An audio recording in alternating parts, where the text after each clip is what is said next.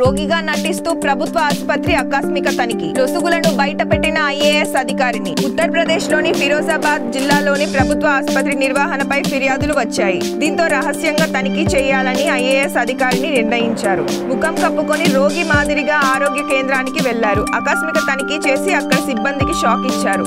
లోని ఓ ప్రభుత్వ ఆసుపత్రిలో రోగులు ఎదుర్కొంటున్న సమస్యలపై పలు ఫిర్యాదులు అందాయి ఉదయం పది గంటలు దాటినప్పటికీ డాక్టర్లు అందుబాటులో ఉండడం లేదని ఆరోపణలు వచ్చాయి